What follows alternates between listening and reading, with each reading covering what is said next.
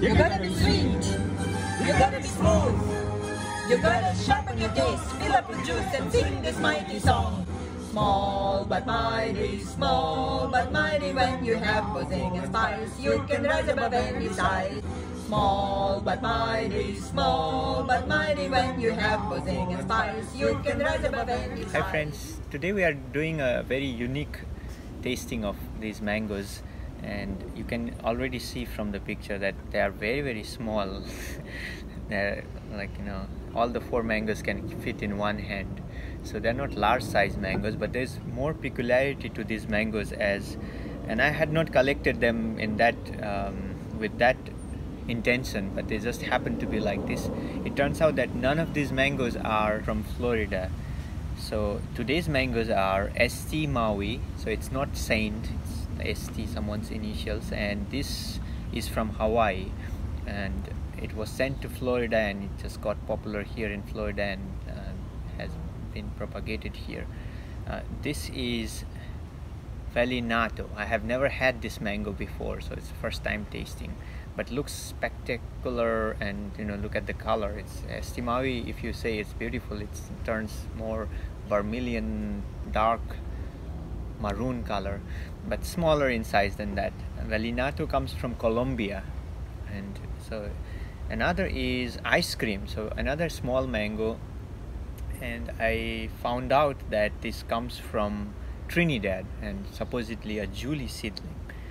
And another is dwarf Hawaiian which is not coming from Hawaii. It turns out it's from Puerto Rico and maybe it is a Julie seedling as well. So Puerto Rico Trinidad Hawaii Colombia none of these are Florida mangoes and still they made it to a plate here in North Miami Beach Florida. So maybe they had something something superb that they had to come all the way and they have been propagated here in Florida.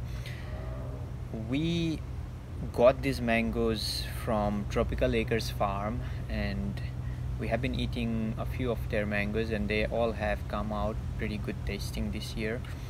Another thing I wanted to tell is first thing first thing to do when you start eating mangoes tasting mangoes down here in South Florida is to find out what your taste preferences are because mangoes have many different tastes. Some are very spicy and super sweet and overwhelmingly um, packed with different taste profiles of different fruit tropical fruits and some are pretty you know, mildly sweet with a classic mango like flavor.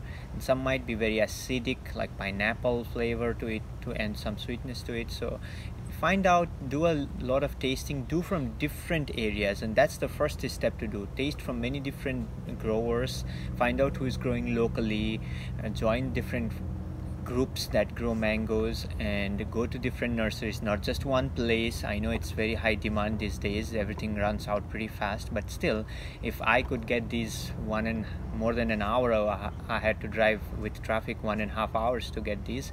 You can also get these um, and if you really love you will go for them. So we i really wanted to uh, find out because I have never tasted these mangoes like not ice cream. We don't grow this one. We don't have Vallenato ST Maui I finally have a tree and I heard a lot about it but still I haven't tasted it so I don't know. And Dwarf Hawaiian I tasted last year didn't do great justice to it because it didn't look nice on the outside although we could get a hint of what it could taste like so we decided to have a tree for ourselves because we really liked the taste profile of Dwarf Hawaiian so I was telling that, you know, first thing to do would be to taste mangoes from different places, different areas, different times, different year. Second thing which I'm realizing is once I have my own trees is how to know when to pick the mangoes how to know? Because before i used to just eat mangoes that were picked by somebody else like either from by steve at hidden acres mango farm here in davie or at zill's place or at walter zill's uh, garden where he would pick or at tropical acres. So different places would pick. Uh, we also went to mango men. So depending on their own preferences they would pick at different times and mangoes would come to peak ripeness or not come to peak ripeness depending on when they would pick them and I am now learning that as a second step when to know uh, when the mango is ready for picking because I have two groups of uh, garden friends here that I'm battling with. Squirrels for sure, everyone knows.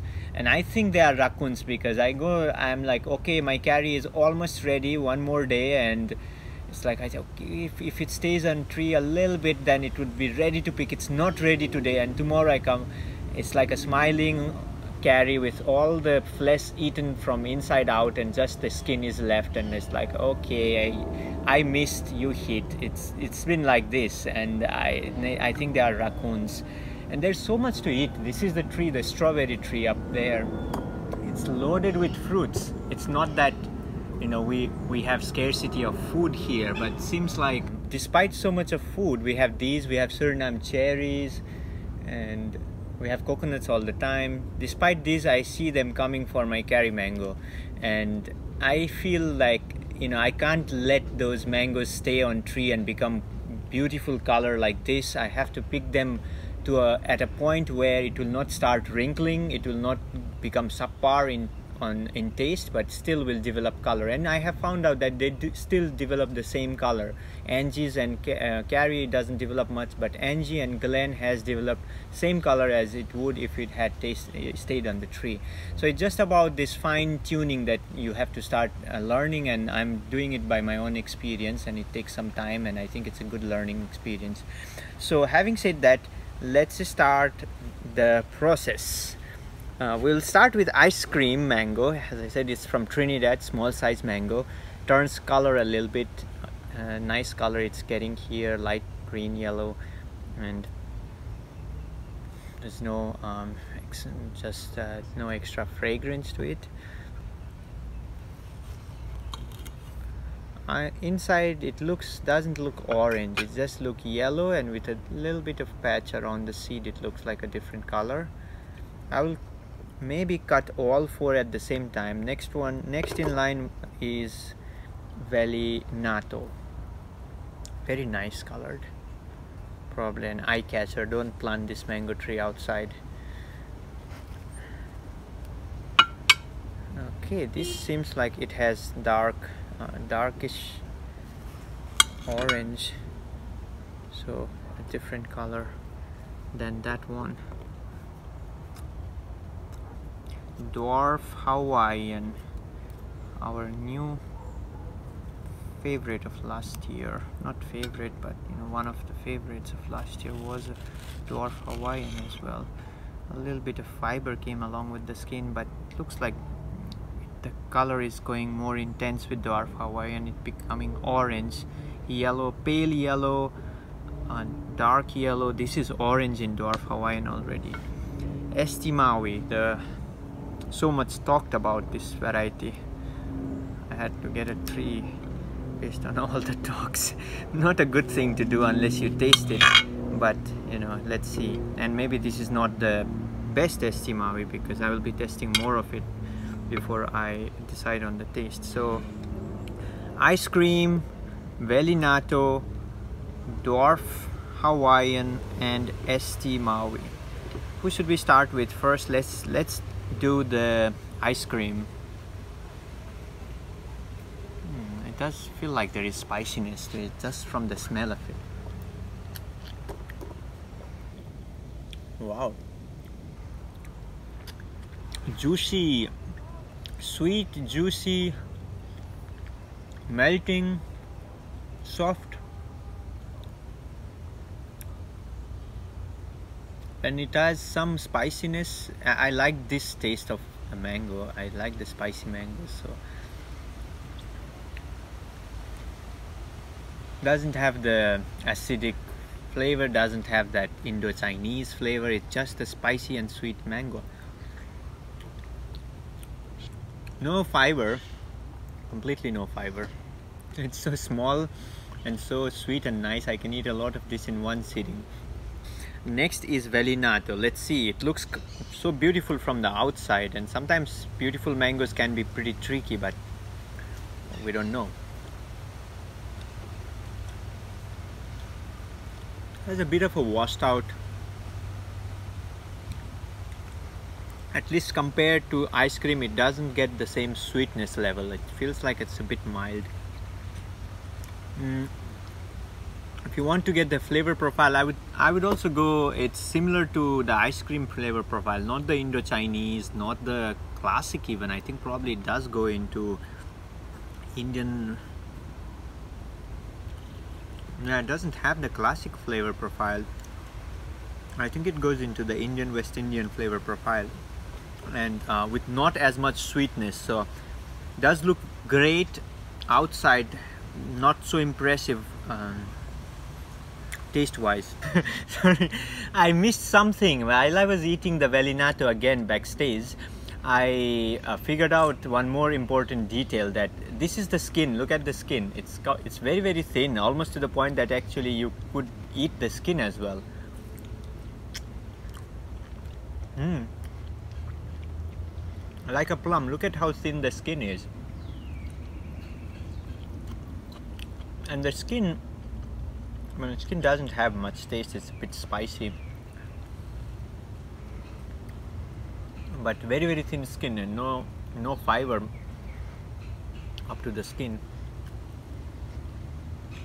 But mild taste throughout. Gets 10 points for this skin alone. Let's do the dwarf hawaiian. And i would like to compare i'm keeping this Vallenato out of comparison because it for me the taste is not as complex. But ice cream and dwarf hawaiian i would like to compare them together and see. This is more mm, creamy. It's more hearty. Doesn't melt in the mouth. It's almost as if i have to chew because there is some fiber it is a good level of sweetness and spiciness. I think they are almost similar to ice cream in flavor but I have to eat them together to see. The dwarf Hawaiian I ate last year from Arun fruit forum friend was much more spicy than this and I like more spiciness. This seems a bit milder in spiciness very sweet as well similar to ice cream but there is a difference. Because of the fiber you don't feel that melting sensation juicy melting sensation with dwarf hawaiian. You see a lot of fibers here coming out that you don't see in the ice cream. So if you are someone who doesn't like fibers i think ice cream would be a better choice for you compared to dwarf hawaiian. Let's see the ST Maui how it tastes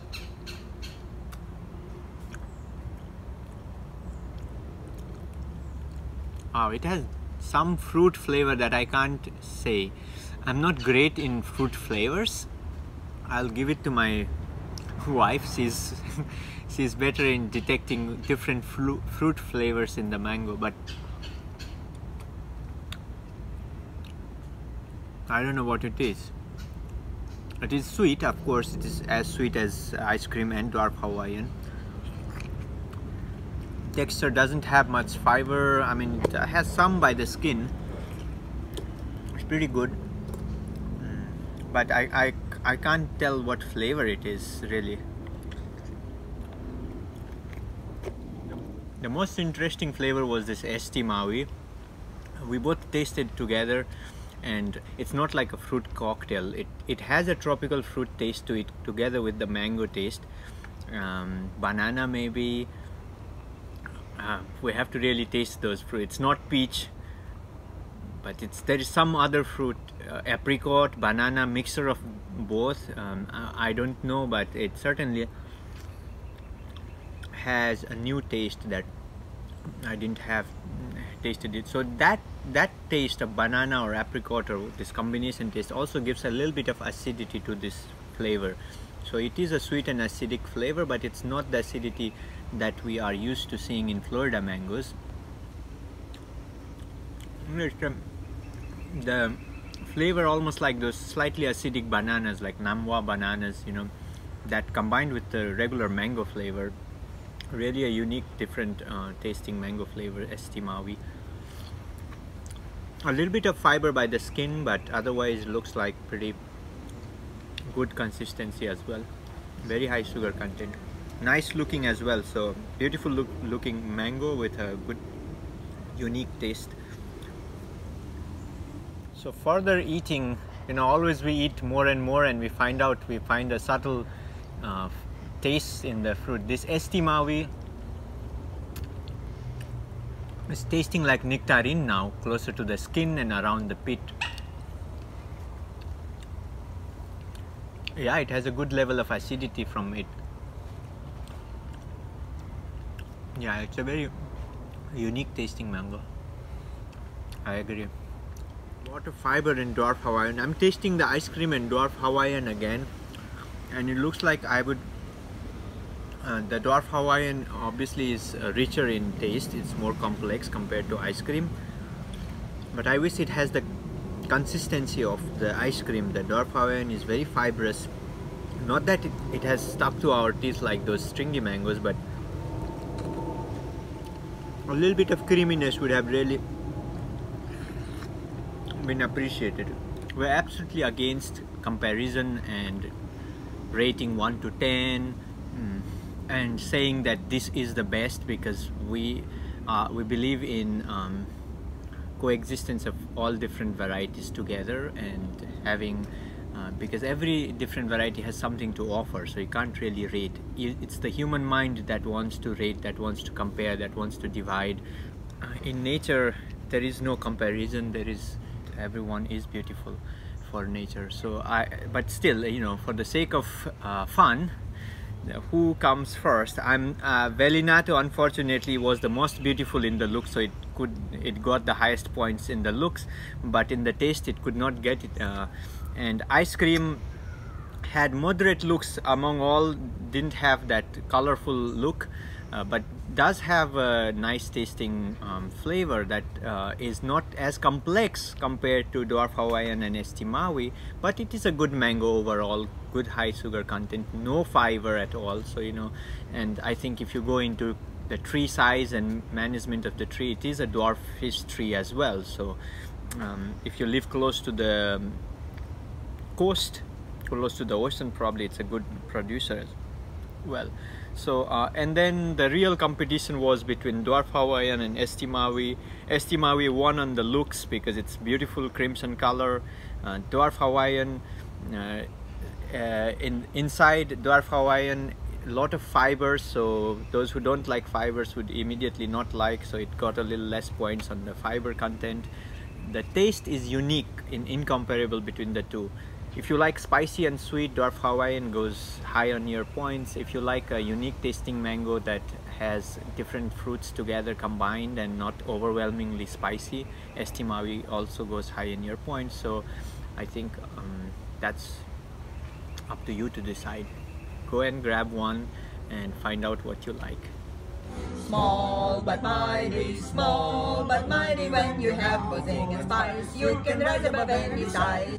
Small but mighty, small but mighty when you have both and spice, you can rise above any size.